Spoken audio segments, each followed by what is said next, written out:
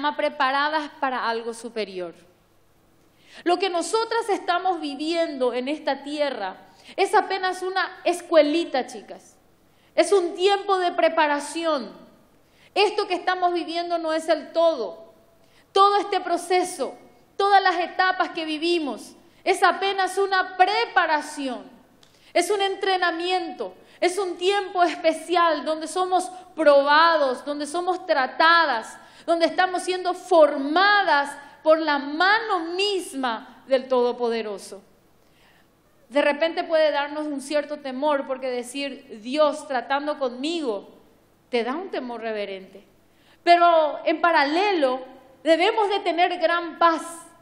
Tenemos que tener un gozo profundo, inagotable, de saber que Dios, el soberano, tiene el control absoluto de nuestras vidas y que no hay ninguna circunstancia adversa, dolorosa, de pérdida, de, persecución o de soledad que pueda ocurrir en nuestra historia que Dios no haya permitido.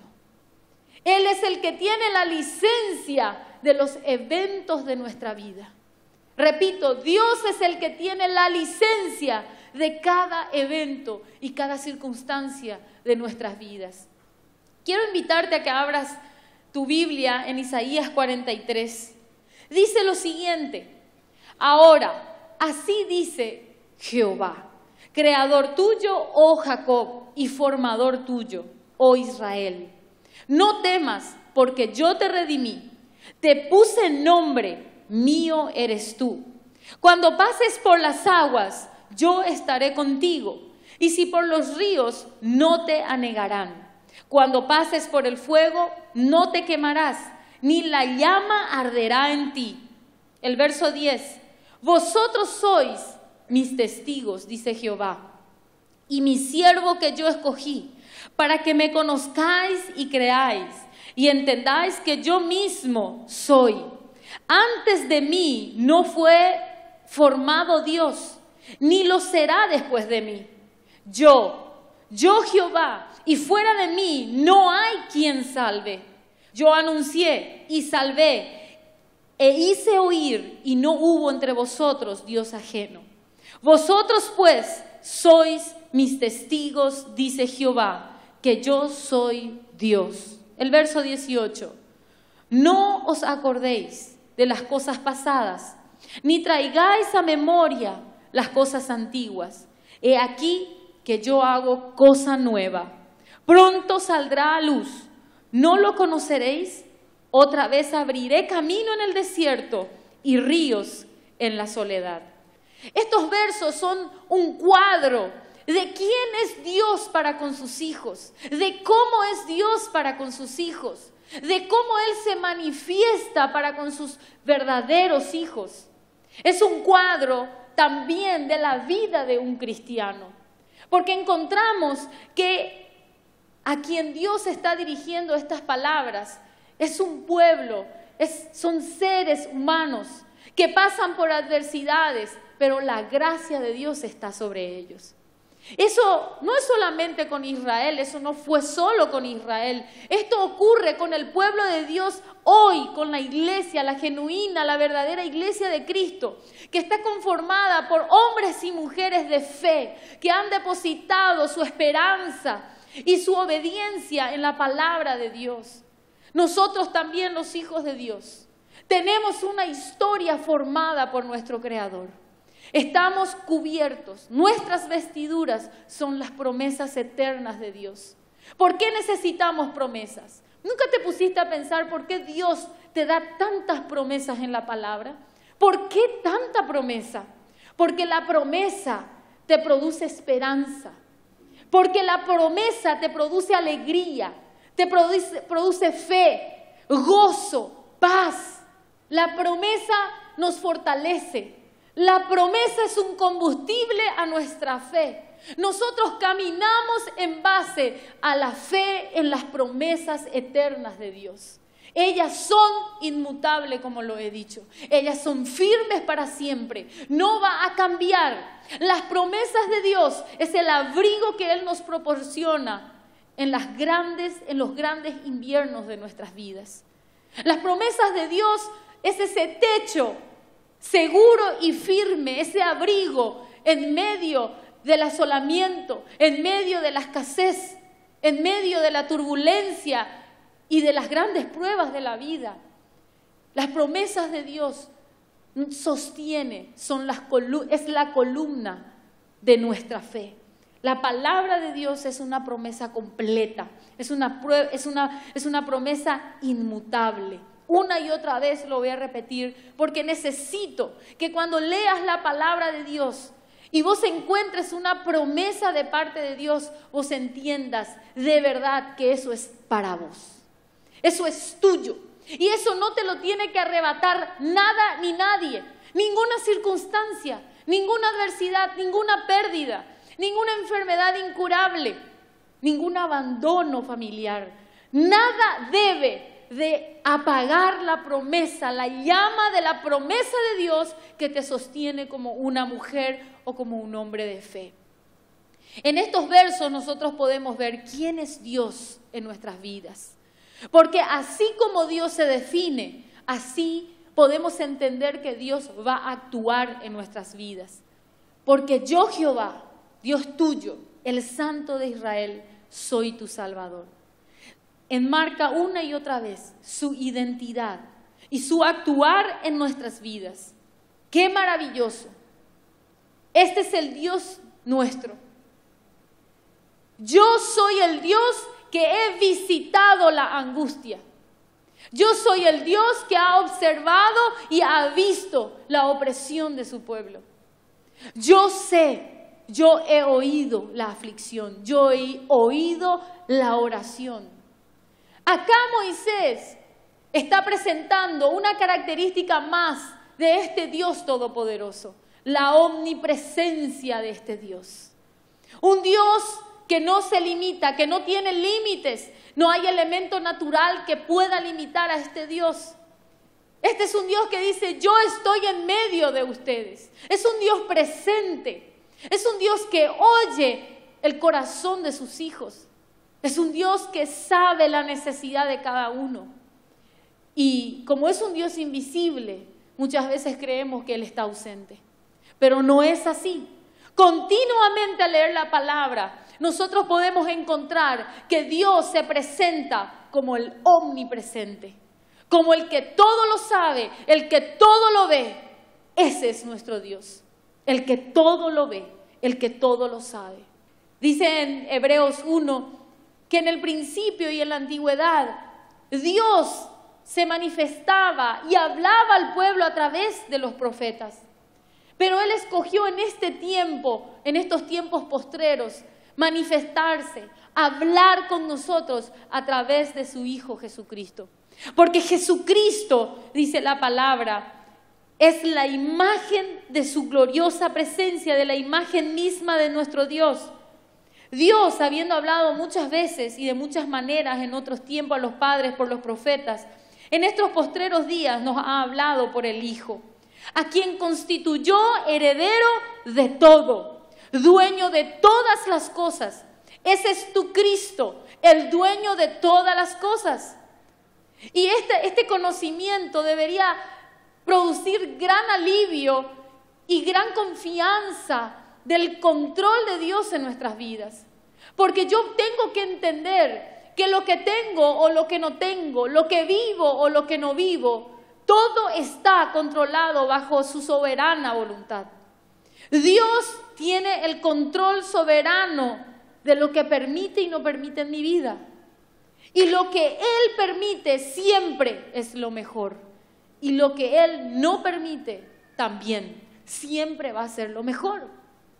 Aunque eso conmueva mi alma, me conmueva almáticamente, porque toca mi capricho, porque toca el anhelo más profundo de mi corazón, Ahí debe estar fortalecida mi fe en las promesas de Dios, de entender que Dios es mi Salvador, que Dios es mi Redentor, que Él compró mi vida con un alto precio. El precio fue la sangre de Cristo. Y si Él me compró, Él tiene autoridad sobre mi vida.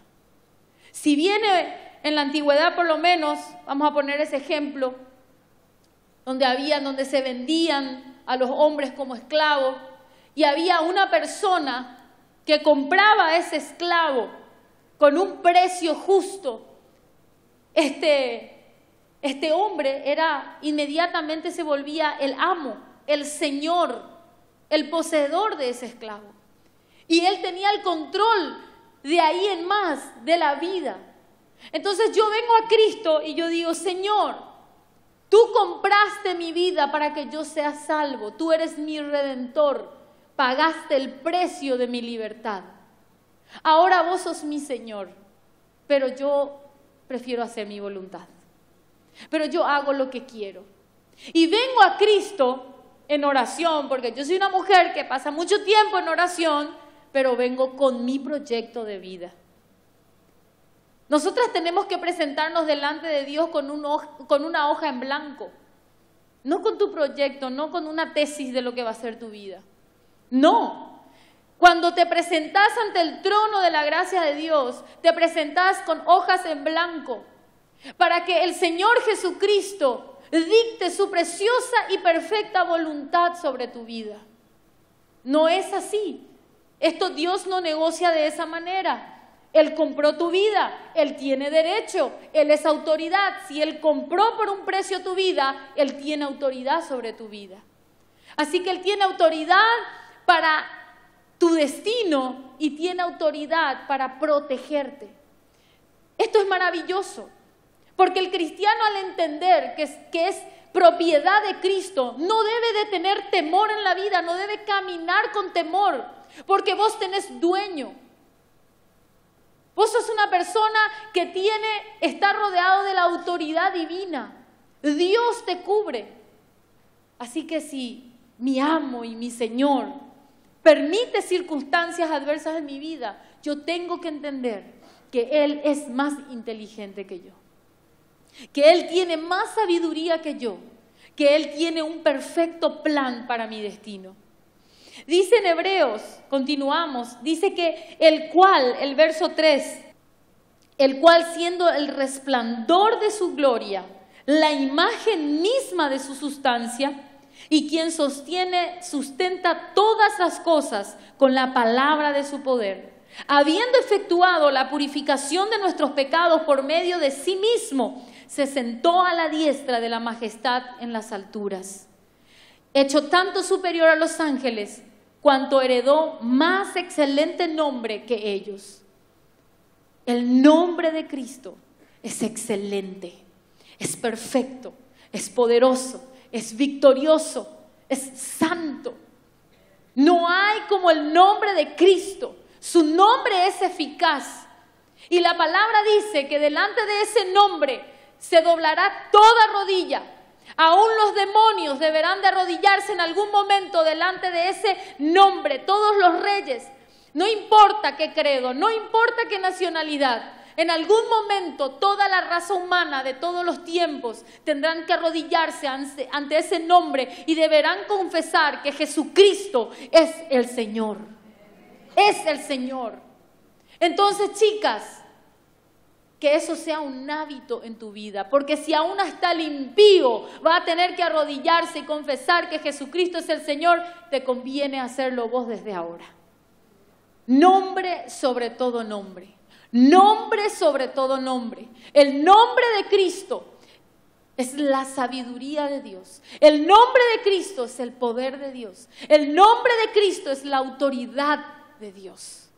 Es la autoridad en mi vida. Él es el resplandor de la gloria de Dios.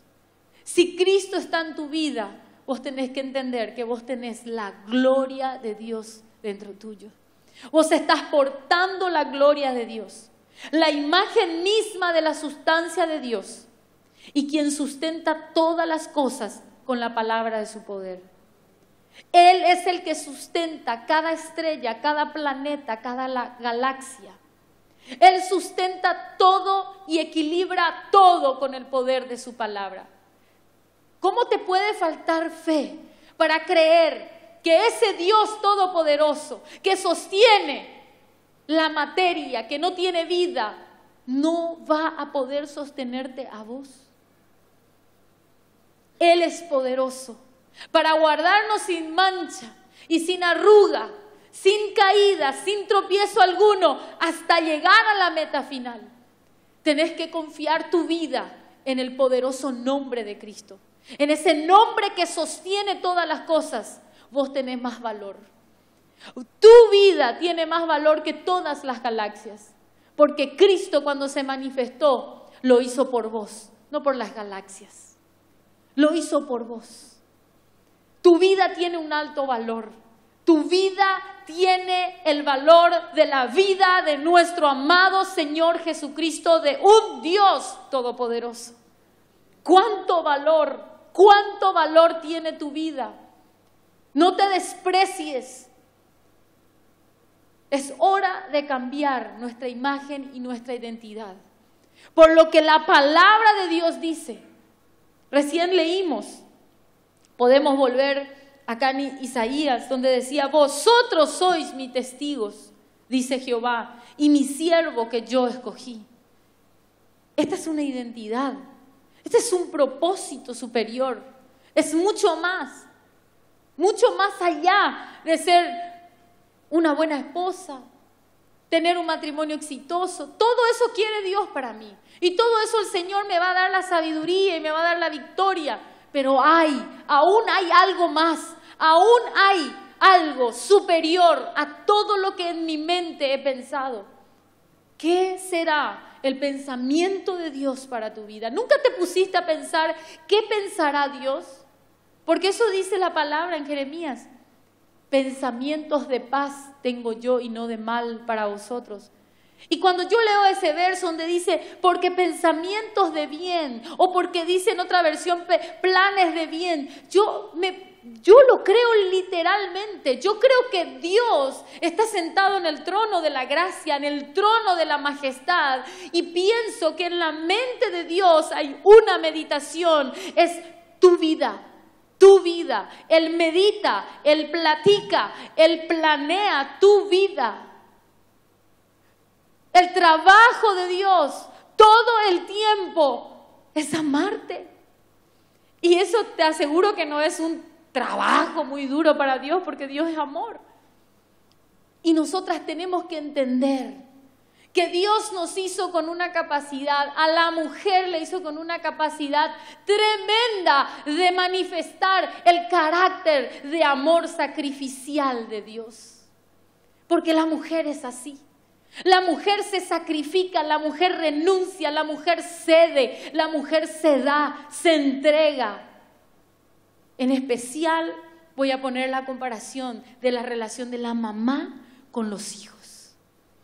Y te puede dar trabajo, y puede ser complicado, y puede estar en la enfermedad, pero no, no, no, no estamos en paz, no estamos felices, no estamos completas hasta que ellos estén completos, hasta que ellos estén en paz. Y estamos atentas todos nuestros sentidos en cada detalle. Eso se llama amor, puro amor, porque amor es yo te cuido, amor es yo renuncio por vos, amor es yo me entrego por vos, yo cedo mis derechos por vos. Eso es amor. Y eso vino a ser Cristo. Él se dio su trono. Él dejó de ser todo Dios en un momento de la historia de la humanidad. Y se vino a, esta, a este mundo caótico a ser todo hombre. Como leí en una parte, Jesucristo se hizo, el Dios que se hizo hombre, para que los hombres sean hijos de Dios. Qué maravilloso. Él fue al matadero y él enmudeció y nunca se quejó. Nunca dijo, ay, estos hijos que me, que me hacen, que, que me cargan tanto pecado y que tengo que llevar. No, Señor, hágase tu voluntad. Hágase tu voluntad. Y la voluntad del Padre era salvarte a vos. La voluntad del Padre era cambiar tu eternidad. La voluntad del Padre era superior, mucho más superior a los padecimientos del presente, como dice la palabra, que Jesucristo se concentró en la gloria venidera y no en los padecimientos del presente. Nosotras tenemos que ser como Cristo. Él es nuestro máximo ejemplo. No tenemos que tener miedo de sufrir. Nosotras tenemos que proyectarnos hacia la gloria de la eternidad que nos espera. Los cristianos tenemos una ventaja muy grande y son las promesas de Dios. Las promesas que hablan de la eternidad. Para mí las promesas más impactantes que un cristiano debe atesorar en su corazón son las promesas referentes a nuestra eternidad. Dios da muchas promesas para el cristiano, aún para su vida aquí en la tierra, pero esas promesas que tienen que ver con la eternidad cuando dicen que estaremos en el reino de Dios, donde ya no habrá llanto ni tristeza, y que ahí vamos a adorar a Dios día y noche, y vamos a estar en la plenitud. Cuando en Corintios dice que hoy nosotros vemos como nuboso quienes somos, pero cuando se manifieste lo perfecto que es Cristo en su venida, dice su palabra, que seremos conocidos, que entenderemos y que veremos cómo fuimos conocidos por Él. ¡Qué maravilloso! ¿No te preguntas cómo Él te conoce, cómo Él te ve? ¿Qué piensa de vos? ¿Qué planea de tu vida, de tu destino? Necesitamos, chicas, ser desafiadas, desafiadas por, esta, por estas promesas de Dios. Hay un montón de versículos bíblicos donde Jesucristo se define como el gran yo soy. Pero en Juan 6:48 dice, yo soy el pan de vida. En Juan 10:11, yo soy el buen pastor. Su vida da, porque el buen pastor su vida da por sus ovejas. Ese es tu pastor. Vos tenés un pastor que dio su vida por vos. Juan 10:14, yo soy el buen pastor y conozco mis ovejas y las mías me conocen. Qué maravilloso. Cuántas promesas, cuántos versículos bíblicos reiteradamente diciendo, yo te conozco, yo te conozco, yo te conozco. Yo sé todo acerca de tu vida. Yo sé todo acerca de tu pasado, yo sé todo acerca de tu presente, pero tenés un Dios que también te dice, yo sé todo acerca de tu futuro, porque yo he planeado tu futuro. Juan 14, 6, yo soy el camino, yo soy la verdad y la vida. Fíjense su definición. Esto es para que nosotros sepamos quién es nuestro Cristo, quién es nuestro Salvador, quién es nuestro Señor. Él no es un Dios tirano, Él no es un Dios autoritario, Él no es un Dios malvado, Él es un Dios bondadoso, Él es lleno de misericordia. Su misericordia se renueva cada mañana. Él es un Dios de paz, es un Dios de amor, es un Dios de oportunidad, es un Dios de un génesis un volver a empezar y es un Dios de un regénesis, como vemos en el Apocalipsis, con un cielo nuevo y una tierra nueva. Tenemos un Dios poderoso, tenemos un Dios que es la vida, nuestro Cristo es la vida. Él puede dar vida al que está muerto, al que está entristecido, al que está deprimido. Su poder es ilimitado porque Él es la fuente de poder. Él dijo, en 10.7 Juan, yo soy la puerta de las ovejas. Está diciendo, yo soy la conexión al Padre, yo soy el camino, la puerta es un acceso a un lugar. Si vos venís a una casa, te presentás, vas al frente y, y si no hay puerta, ¿qué vas a pensar? Hay todo un escaloncito para subir y no hay una entrada, no hay un acceso. Y Jesús se presenta y dice, yo soy la puerta de la casa del Padre. Él es la puerta, Él es la puerta en la cual vos podés acceder al trono de la gracia. Él dice que vengamos a su trono de la gracia a hallar el oportuno socorro. Él es ese acceso libre. Juan 11:25, yo soy la resurrección y la vida.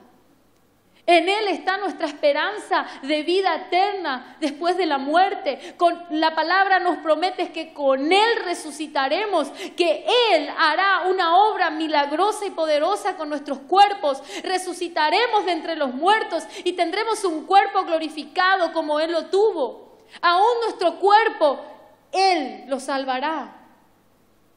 Juan 8:12. Yo soy la luz del mundo. Él es la claridad en la confusión de nuestras vidas. Juan 6, 51, yo soy el pan vivo. Un cristiano no necesita, no debe mendigar pan. Él es el pan. Él es el maná de nuestras vidas. Él es el maná de tus desiertos. Él es tu provisión en el desierto. Lo único que necesitas, porque Él es suficiente, es Jesucristo. Él es todo lo que necesitas para ser sostenido y para seguir caminando aún en el desierto. Jesucristo es el maná de tu desierto. Ese es Jesucristo. Qué maravilloso, qué poderoso es tu Dios. Y ese es el que te habla. Ese es el que inclina sus oídos para oír tu oración. No es cualquiera tu Dios. Tu Dios es todopoderoso, todopoderoso. También en Isaías nosotros podemos encontrar el cuadro de nuestra vida, el cuadro del cristiano. Dice que aquí se manifiesta un Dios que es, que fue y será, el que nos ha creado, dice el creador tuyo, el que te creó. Qué linda palabra, qué linda expresión o descripción de nuestro Dios, dice, y formador tuyo. Tu Dios también es tu formador. Y es aquí donde encontramos la razón por la cual Él primero se presenta en su carácter, en su naturaleza, porque dice en el verso 2, cuando pases por las aguas, yo estaré contigo. No te anegarán ni el río, cuando pases por el fuego no te quemarás, ni la llama arderá en ti. Utiliza dos elementos. Utiliza el agua y utiliza el fuego. Dos elementos que en la palabra de Dios también representan algo positivo. Porque en la palabra el agua representa la palabra de Dios o representa el Espíritu de Dios. El fuego representa también el Espíritu del Señor. Pero en este caso, el Señor en este contexto está diciendo, está hablando de la adversidad, está hablando de la prueba de la vida. Y esta es la vida de un cristiano, esta es la vida de un hijo de Dios. Los hijos de Dios también somos atacados por tempestades. Las aguas muchas veces lo sentimos como un río, como dice el profeta, si el enemigo viniera como un río, clamemos al Señor y Él nos librará. El agua, símbolo del Espíritu del Señor, también representa pruebas, ataques, adversidades. Isaías ahí nomás 59. Quisiera que que abramos nuestras Biblias ahí. 59, verso 19. Dice así, y temerán desde el occidente el nombre de Jehová y desde el nacimiento del sol su gloria.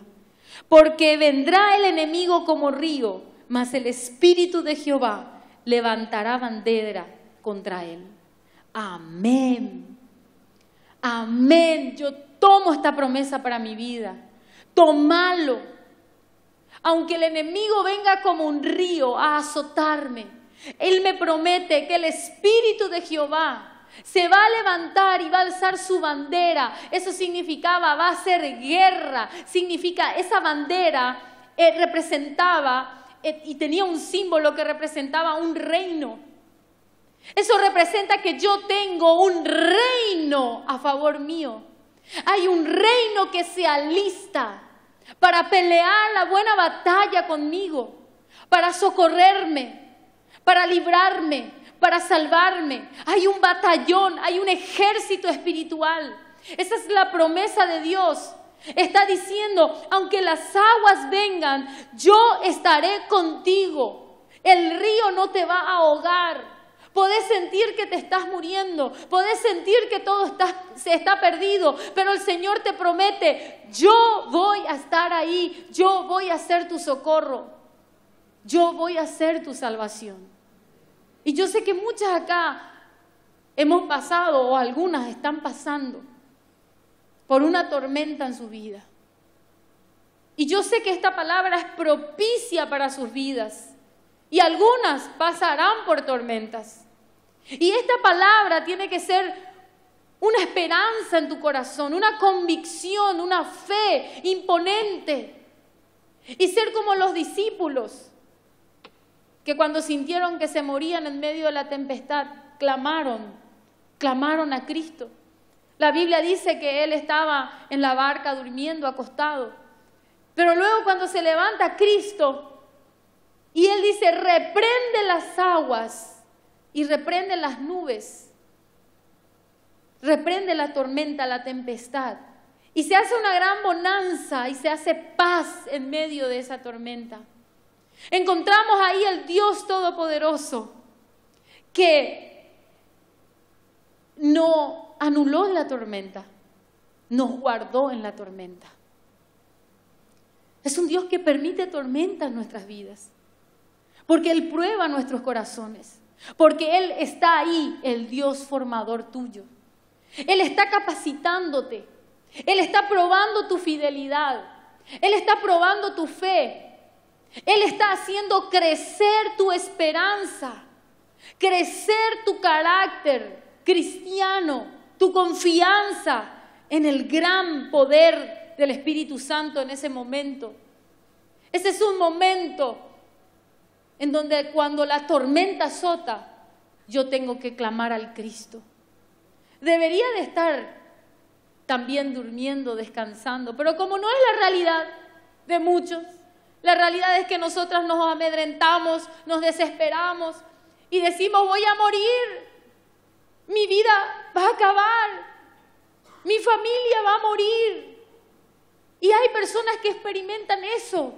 Quizás no hay una enfermedad, quizás no hay una muerte física, pero hay familias que están experimentando y sienten literalmente la muerte caminando en medio de sus hogares, que amenaza la destrucción de su familia, de sus hijos, de sus matrimonios. Y acá el Señor está manifestándose como la autoridad sobre la tempestad. Él está en nuestra barca. Él está en la barca. ¿Será que nosotras estamos también en la barca donde está Cristo? ¿Y será que nosotras clamamos al Señor cuando estamos en medio de la tempestad? ¿O declaramos oh, como se dice típicamente? Y tiramos la toalla y dejamos de batallar y dejamos de creer. Me encanta Job cuando dice, aunque Jehová me matare, yo seguiré confiando en Él. Yo seguiré confiando, yo seguiré esperando en Él. ¡Qué fe invencible! Esa es una fe regia, es una fe madura, es una, es una fe que vence. Aunque Jehová me matara, aunque Jehová me quite la vida, porque yo sé que mi redentor vive y con él me levantaré. Puedo hasta morir, pero mi Dios del sepulcro me va a levantar. Ese es mi Dios. Qué Dios poderoso, qué Dios poderoso que utiliza mi adversidad, mi, humillación, toda enfermedad, toda persecución, toda pérdida. Él lo transforma para mi bendición. Qué Dios más poderoso tenemos. Ese es mi Dios. Me siento orgullosa de mi Dios. Él es maravilloso.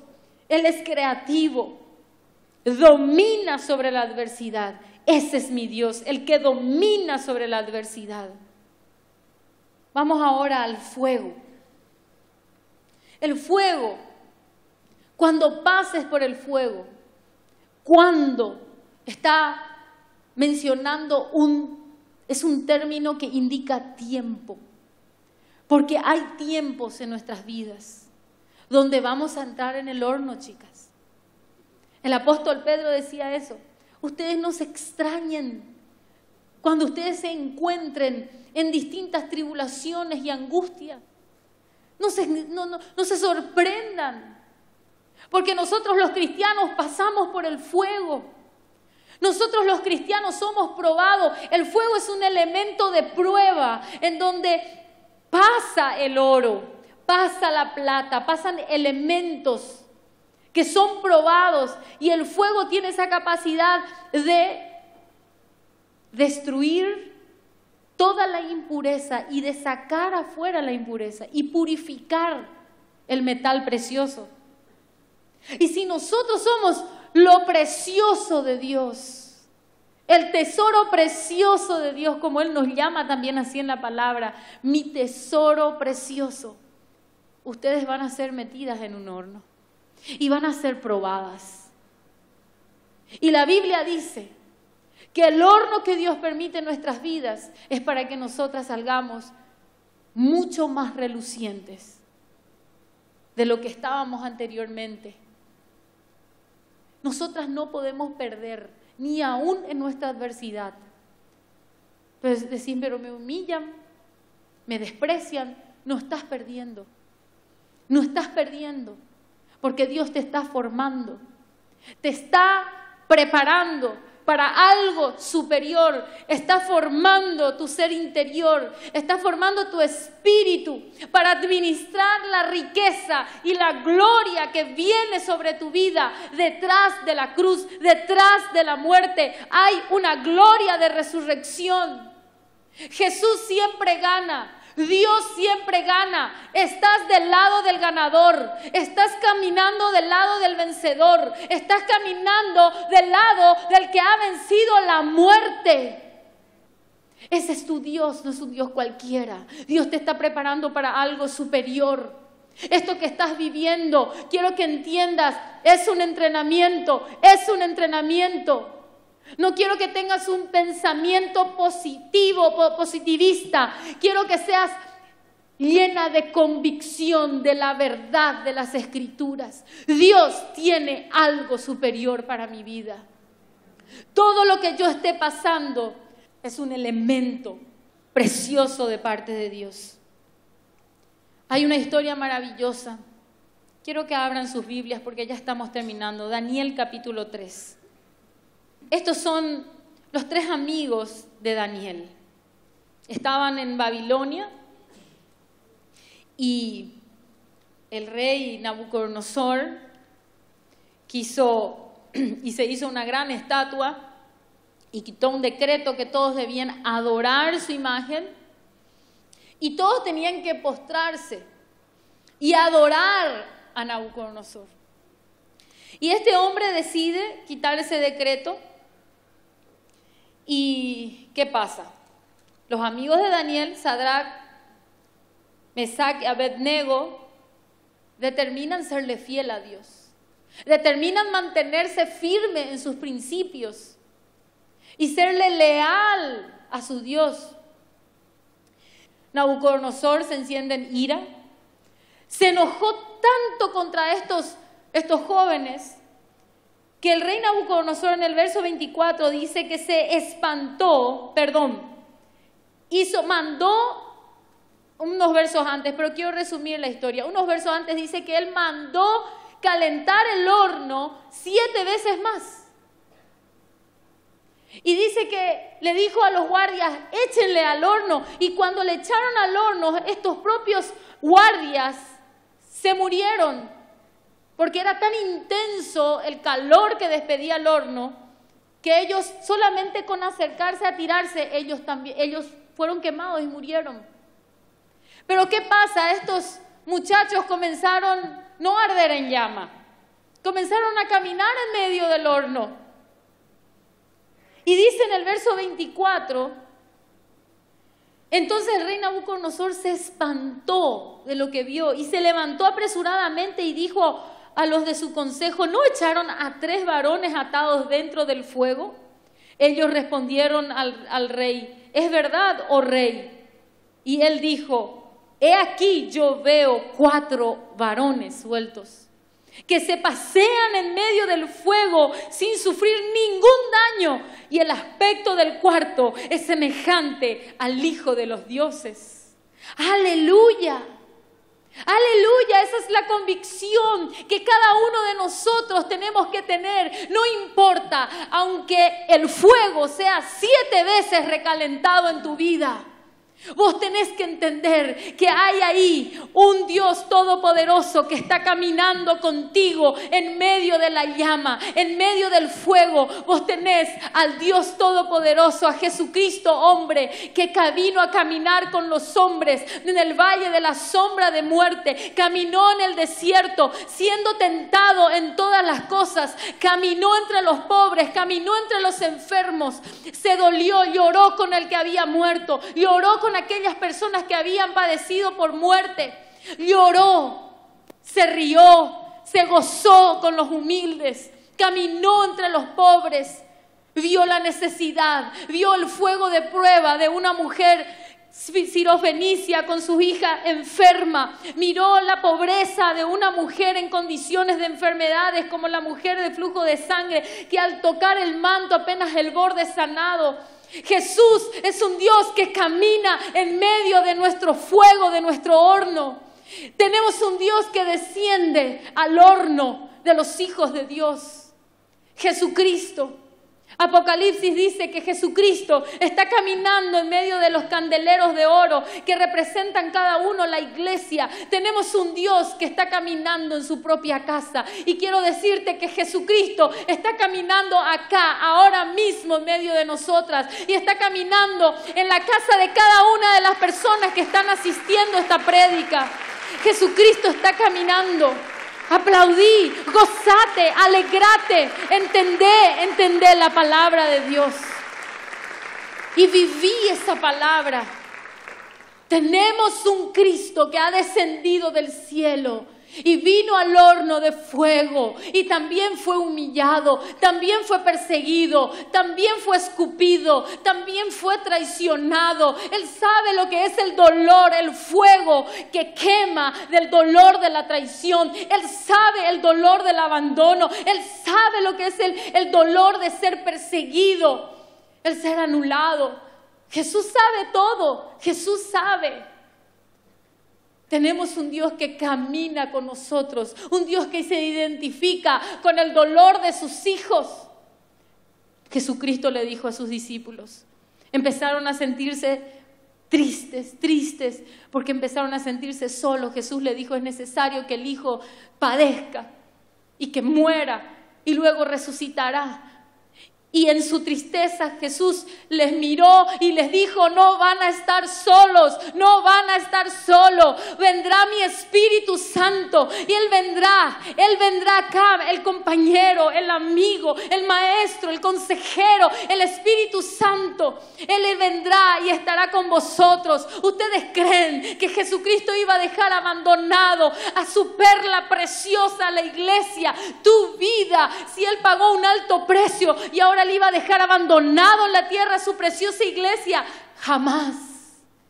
Él envió a su Espíritu poderoso para guardarnos, para liberarnos, para caminar en medio de nuestra tempestad, para controlar nuestra barca para caminar en medio de tu horno. Vos no estás sola, mi querida hermana. Vos no estás sola en tu enfermedad. Vos no estás sola en tu abandono. Vos no estás sola en tu desierto. Vos no estás sola y nunca vas a estar. Esa no es tu condición. Esa no es tu condición. Vos no sos una mujer abandonada. Quiero decirte que vos no sos una mujer abandonada. Tu formador, tu creador, tu Señor, tu Salvador está de tu lado caminando. Qué maravillosa, qué maravillosa historia, cómo nos fortalece. He aquí, yo veo un varón suelto caminando en medio de ellos y tiene el resplandor del Hijo de los dioses. ¿Será que podemos ver a ese hombre, Jesucristo, el resplandor de la gloria de Dios, caminando conmigo? ¿Será que yo puedo ver ese hombre? No importa si no le ves, no importa. La verdad es que Él está contigo. El gran yo soy, invisible y poderoso, como poderoso gigante, está delante tuyo. Eso dice su palabra. Entonces Nabucodonosor dijo, bendito sea el Dios de ellos, de Sadrach, Mesat y Abednego, que envió su ángel y libró a sus siervos que confiaron en Él. Quiero que digan conmigo, libró a sus siervos que confiaron en Él. Dios libra a sus siervos que confían en Él. Dios libra, Dios ampara y Dios sostiene a la mujer que se convierte en una sierva de Dios. Tu identidad no es abandonada, no es enfermiza, tu identidad no es desamparada, tu identidad, mi querida hermana, es de ser sierva de Dios. Esa es tu identidad. Vos sos la sierva del Señor que camina con el Hijo de Dios. Dice que envió a su Hijo y libró a sus siervos y que no cumplieron el edicto del rey y entregaron sus cuerpos antes que, servir y adorar a otros dioses que su Dios. Pero esa fidelidad y esa gloria es manifiesta en la vida de aquella persona que decide ser fiel a Dios a pesar de la tentación, porque se va a levantar grandes hombres como Nabucodonosor, que tienen mucha autoridad, que van a tener influencia sobre tu vida y van a querer subyugarte a una vida de pecado. Pero vos decidí caminar en obediencia al Señor. Porque el Señor va a ser fiel y el Señor te va a sostener y el Señor te va a dar la fuerza y el poder del Espíritu Santo para permanecer fiel hasta el final. Después reconocerán que sos una sierva de Dios. Y dice, por cuanto no hay Dios que pueda librar como este Dios. No hay Dios, no hay uno Dios que sea igual a tu Dios, al que camina contigo. No hay un Dios como nuestro Dios, fuerte, grande, poderoso, invencible. Ese es tu Dios. Estamos preparadas para algo superior. Vosotros sois mis testigos, dice Jehová, mis siervos que yo escogí para que me conozcáis y creáis. Fuiste escogida para conocer a Dios, para portar, para ser la portadora de la revelación de Dios que es Jesucristo. Donde vos te vas, vos estás portando la revelación de nuestro Dios.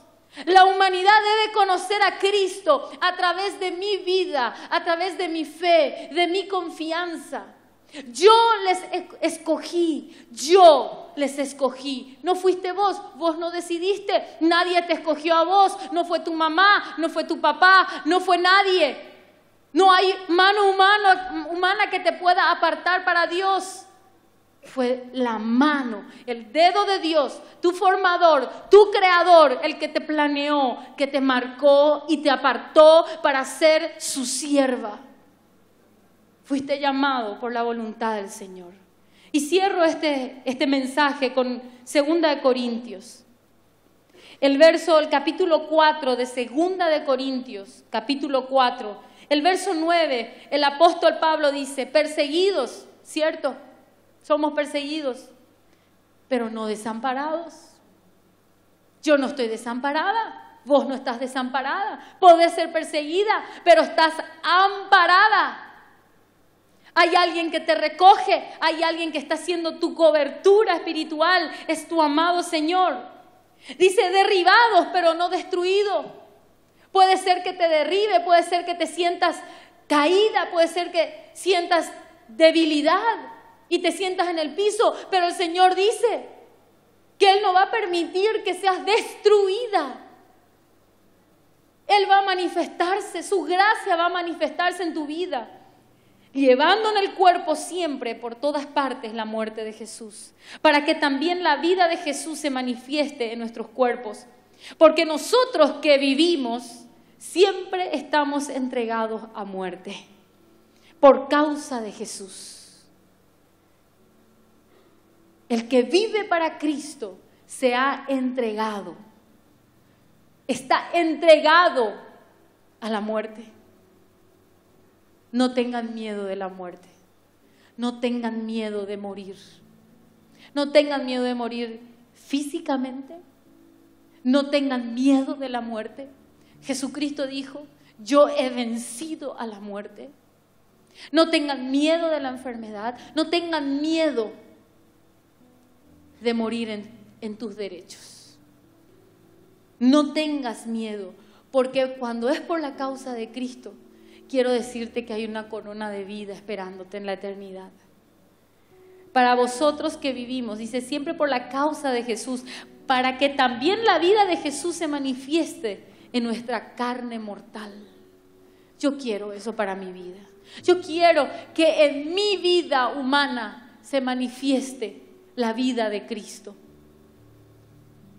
El verso 16 termina diciendo así, por tanto, no, no desmayamos.